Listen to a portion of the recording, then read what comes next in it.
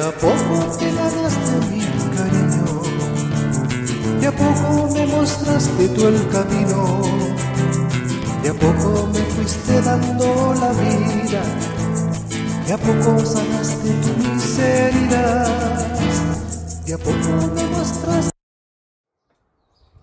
Avanzando, avanzando en este mes. Así es. Y ya estamos más tranquilos.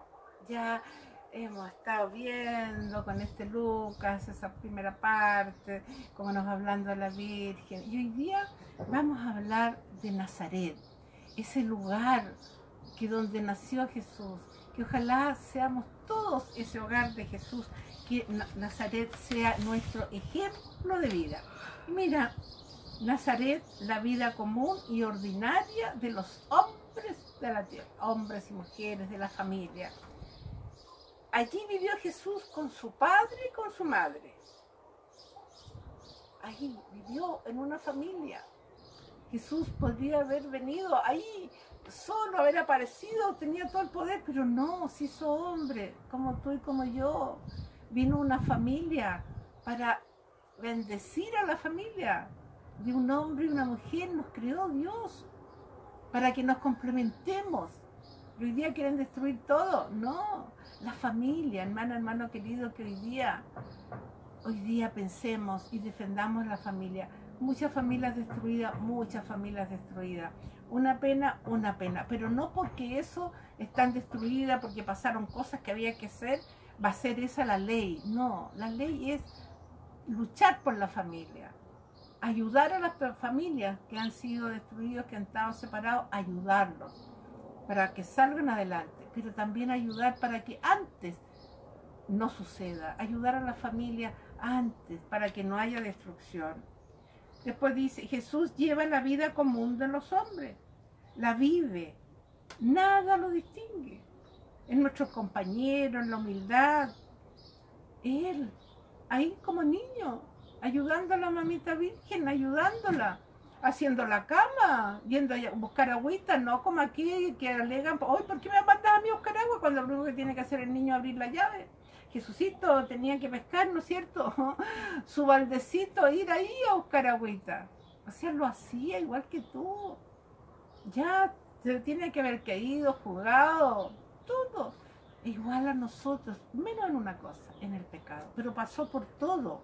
Así que un niño en Nazaret común y corriente. Jesús en Nazaret, ¿qué es lo que hacía? Ejercía la vida de trabajo. Su papá, ¿qué es lo que era? Carpintero. Imagínate Jesús trabajando, ayudándole a, coser los muebles. ¿Cuántas veces se tiene que haber clavado con el martillo su dedito? Bueno, imagínatelo así. Ese es el Jesús de Nazaret.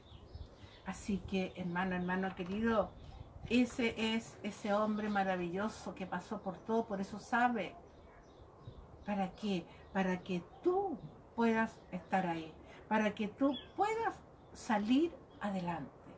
Así que nada de que pensar de que es así, que así, que no me entiende. No, Él te entiende. Y para que mejor te entienda lo que hoy día nos cuenta Lucas, que pasas tú y yo todos los días, Él también lo pasó, las tentaciones. Hoy día, en Lucas 4, nos dice la siguiente.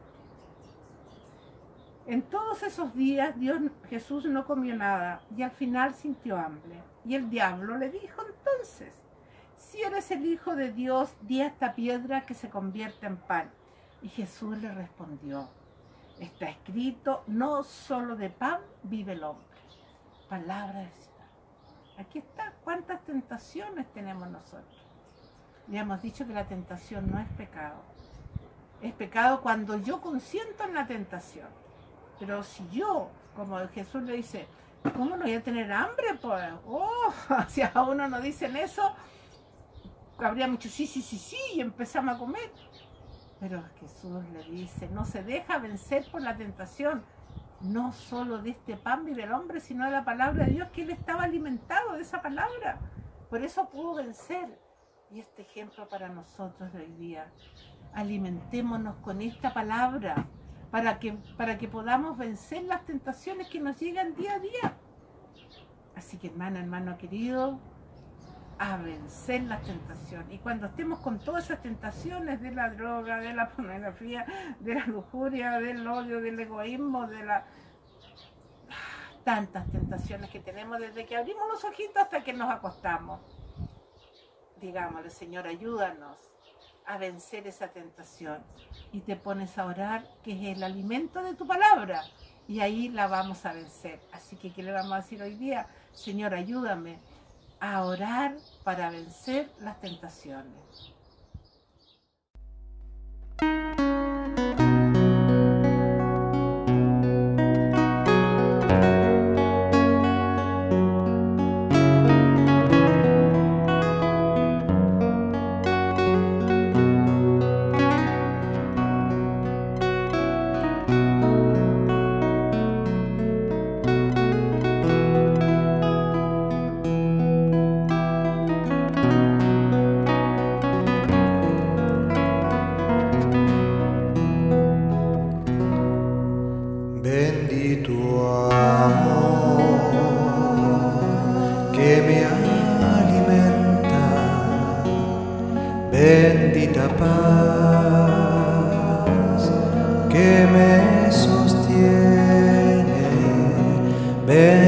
la.